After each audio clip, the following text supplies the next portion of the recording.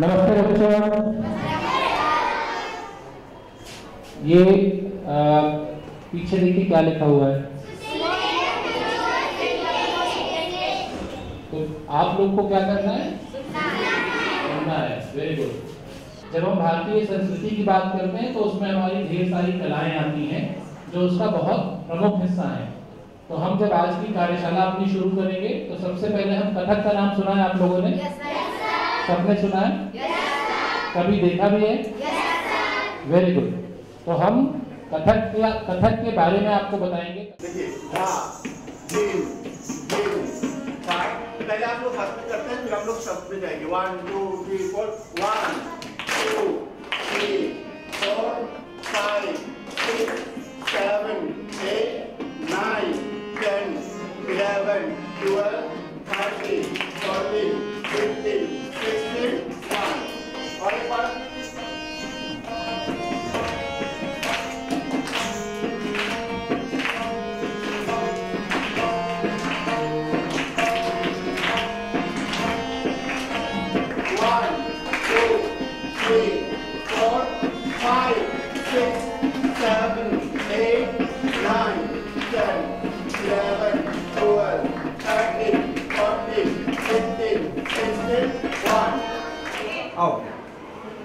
देखो आपको एक नई चीज़ आ रही है अब। यहाँ पे ये मंच नहीं रहेगा, कुछ और बन जाएगा।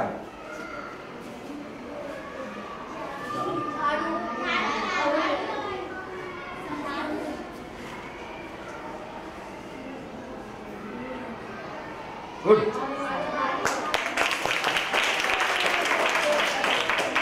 अब इसमें एक और हम चीज़ जोड़ते हैं। जो भी मैं करूँ, उसमें परफेक्शन होना चाहिए। हम वो ऐसे भला टालने के लिए नहीं कर रहे हैं। ऐसे गए, ऐसे करके। ऐसे नहीं। प्रॉपर आपको देखना झाड़ू है। झाड़ू है तो कूड़ा भी दिखेगा आपको। अच्छा कूड़ा बना लीजिए बना ऐसा लिया, ऐसे है ऐसे है ऐसे करके ऐसे करके लिया। सूप उठाया उसको कैसे रखोगे? ऐसा करके उसको इकट्ठा करके रखा रखा उसमें।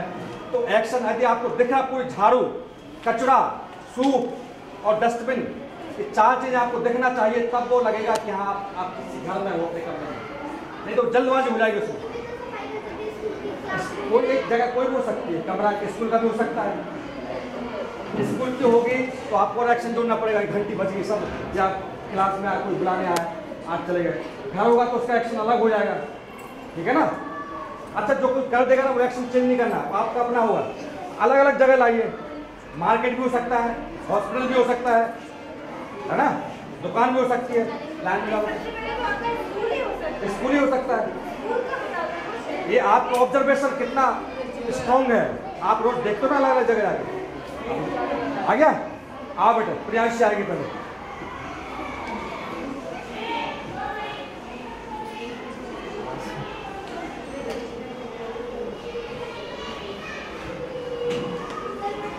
एक मिनट उसको सोचने दो अभी सोचा नहीं आपने? तब तक बस नहीं आया।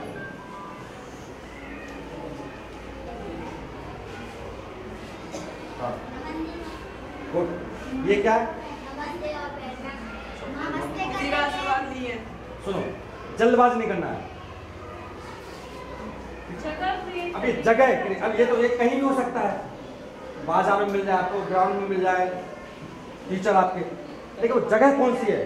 उसकी बात हो रही है।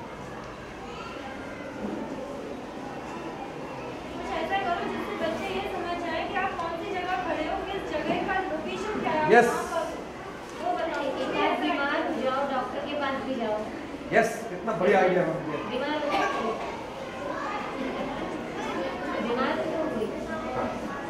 प्रतीक्षा के लिए तालियाँ। शाबाश।